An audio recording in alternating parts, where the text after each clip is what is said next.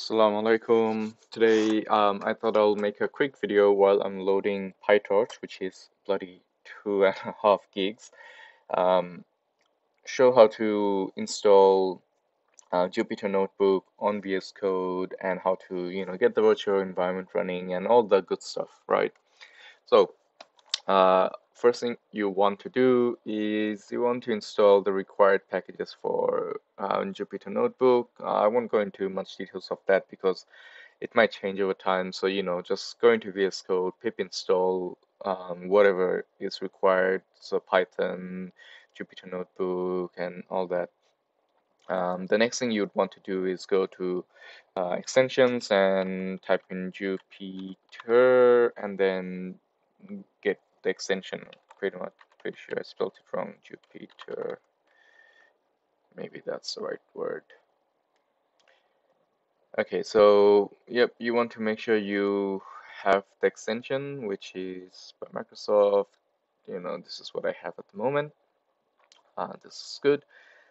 Uh, there are some other um, ones, but who cares? Just install the one that you need for now.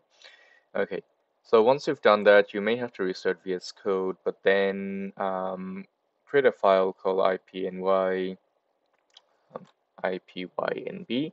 And then once you do that, you should see something like this where um, you you can add like cells and um, you know you can run the code and all that. So when you run the code, obviously you wouldn't actually see this. It, it will say select um, a kernel or something like that. Now, obviously with Python, when you're installing um, modules or libraries, whatever you want to call them, some libraries work with different versions of other libraries, right? They have dependencies and case, cases like that.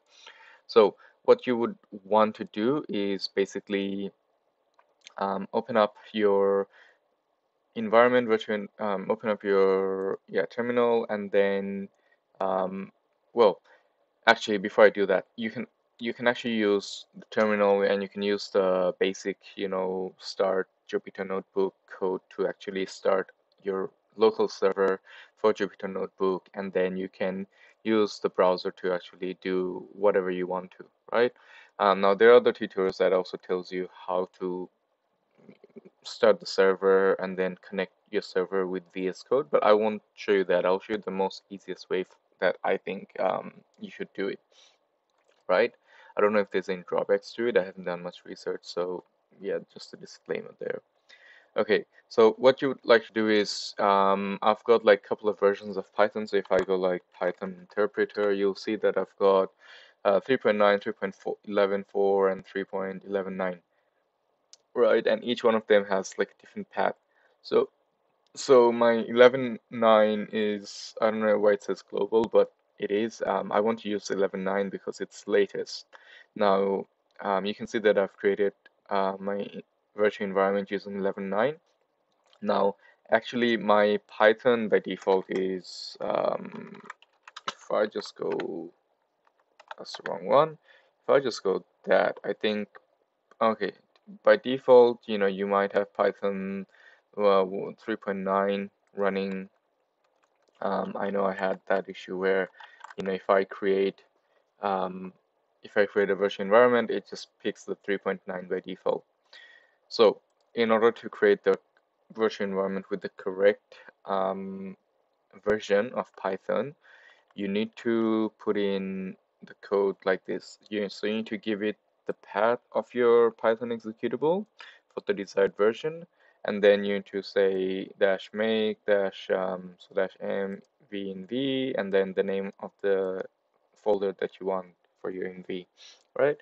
So once you do that you'll um, have something like this venv and then if you can go to like python env config and you'll see all the good information. Just um, get out of this. So you see you know where the path is what the version and all that right so now once you've done this, you can actually go in here.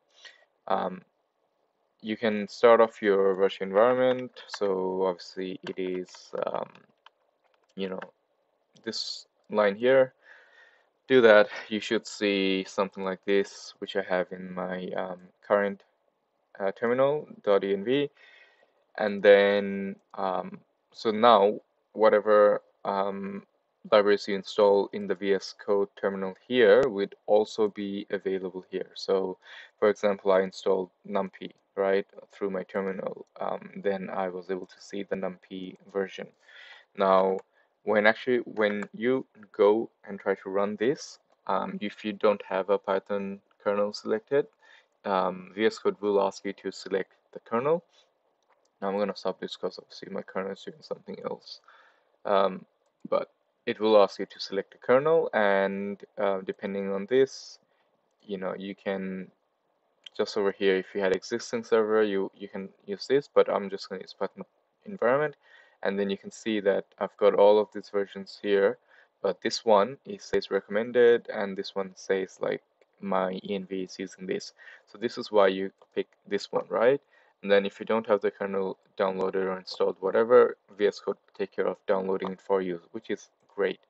Um, once you've once you see like this is running .env, this env is connected to this env, so now your Jupyter is connected to your virtual environment, uh, which is what you want. Now you can, you know, do whatever, right? Like install packages, um, create your requirement files, and then you can run with it. So, yeah, let's leave it there.